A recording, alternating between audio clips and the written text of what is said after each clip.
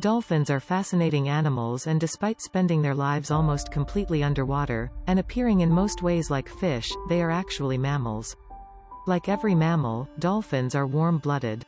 Unlike fish, who breathe through gills, dolphins breathe air using lungs.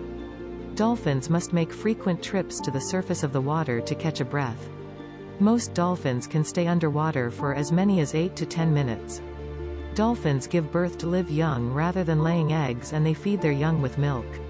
In general, the dolphins are 2 to 3.9 meters and their average weight is 150 to 200 kilogram. Dolphins are known for their intelligence, they are most probably the second most intelligent species on Earth today.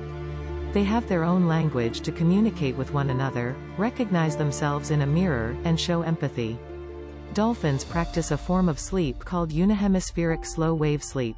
This means that only one hemisphere of their brain sleeps at a time.